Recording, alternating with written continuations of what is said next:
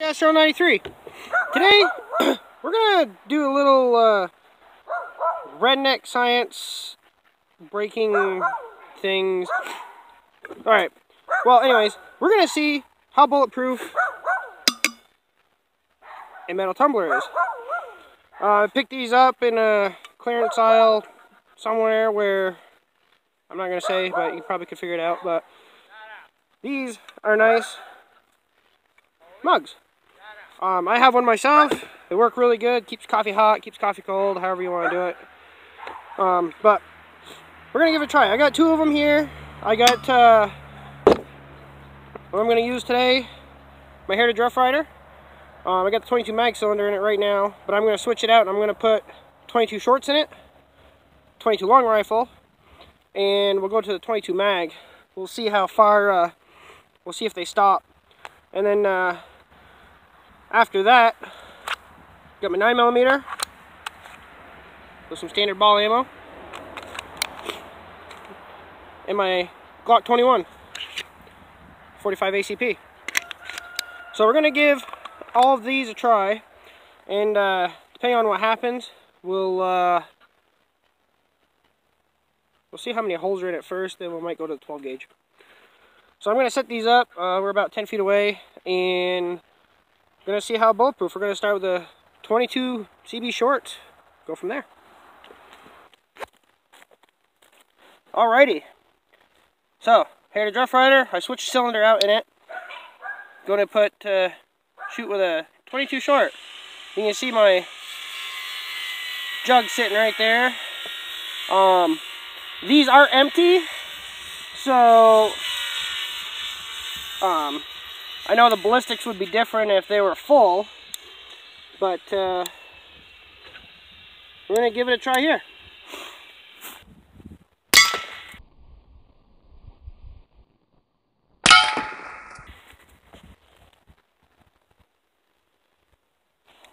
Just knocked it over. And, uh, that's pretty cool. Look, it dropped in the snow in front of me bullet. Let me go grab the cup. All right, CB short. Just put a little dent in it. So the next one we're gonna do, we're gonna do a 22 long rifle. Don't need that. Get uh, Remington Thunderbolts. I bet these are gonna zip right through.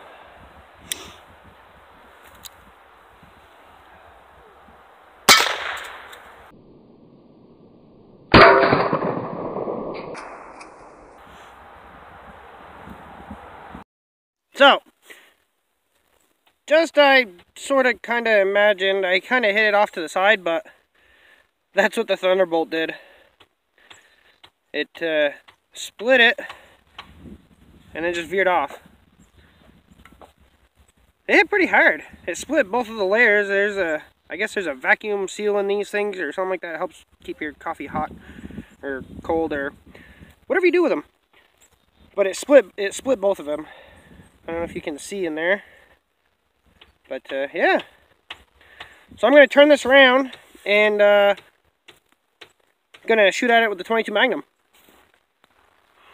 Alright, so I got some Hornady 30 grain VMAX rounds and my little uh, coffee mug up there. That still is the same one I've been shooting at. We're going to see what the 22 mag does to it.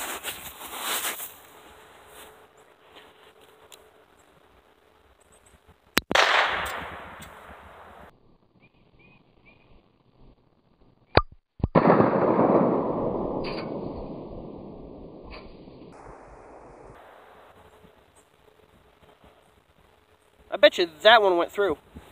Let's take a look. So, yeah. 22 Magnum zipped right through it. Made a nice, good sized hole right there. Hello. Alright. So, I'm going to turn it this way, so this side's facing. We'll shoot at it with a 9 millimeter. And uh, go from there.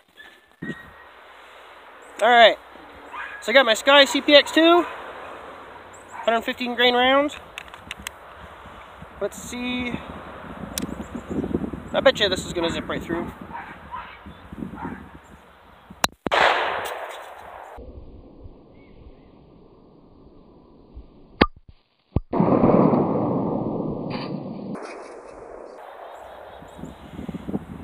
Yeah, that zipped right through.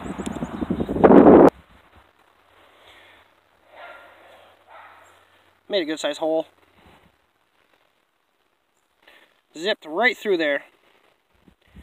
But, hey, you don't know if you don't try, right? So I'm going to set it back up. I'm going to set it up right here.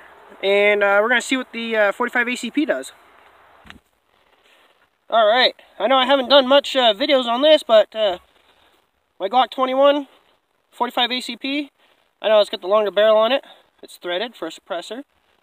Got the elevated uh, sights. I gotta build a suppressor for it. So all I got now is a uh, 230 grain ball ammo. Let's see what it does to the coffee mug.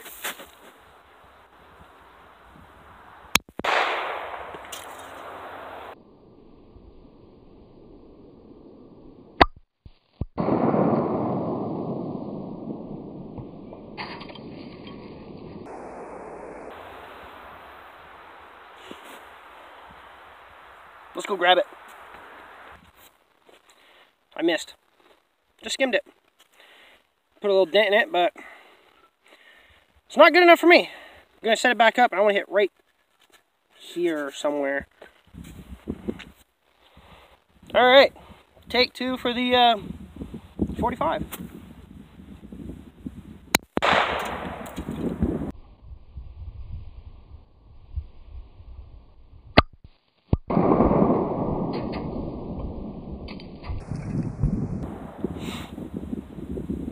I bet you that zipped right through. Let's go check it out. So, yeah. It punched a pretty good hole in there. Split it right open right here. Came out right there. Probably would have done the same too if had a 45 hit me, you know. But, uh, alright. I got one that has no holes in it. Let's see what happened with uh, 12 gauge. Don't know if you don't try, right? Obviously, this one here, yeah, yeah, bullets go through it. We'll give this one a try. I'll be right back. Alrighty. I was playing it safe. I was shooting here at about 10 feet earlier. Um, I moved the coffee mug over here, right there. It's about 25 feet. Um, what I also did was, uh, I'm just shooting at it with a number 8 birdshot. I took the lid off it, just in case I screwed up, because, oh, well, I guess if I screwed up that lid, it wouldn't have mattered, because this lid on the one I shot up is perfectly fine. Because if the BBs don't penetrate it, then guess what? I'm going to have a cool looking coffee mug. Alright. Well, it looks like I got seven and a half. I got shot seven and a half and eight. I'll shoot at it with the eight. And uh, let's see what happens.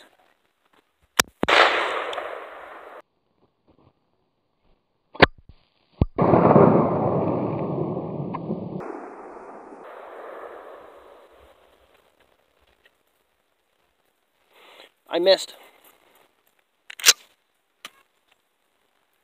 Um, yeah, let's try that again. Seven and a half.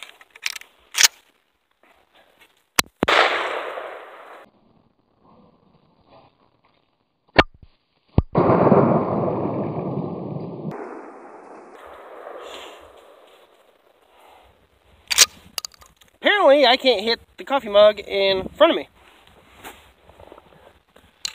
So I got another seven and a half. Be able to do it better when I'm standing up.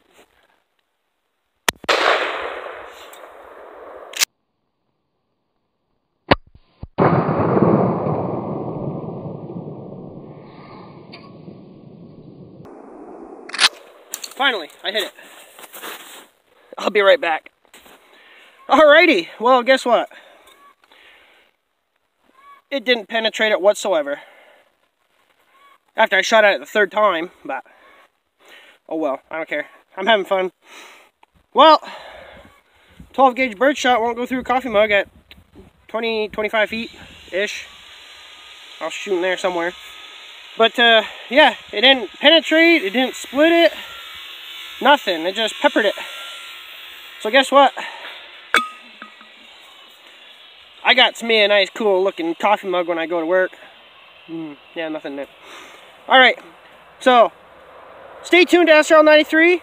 Um, there'll be more episodes coming up. I'm going to do a lot more videos this year that compared to what I did last year. And uh, this is pretty fun. Don't forget to subscribe, share it, you know, tell your friends, tell your family, and uh, thanks for watching.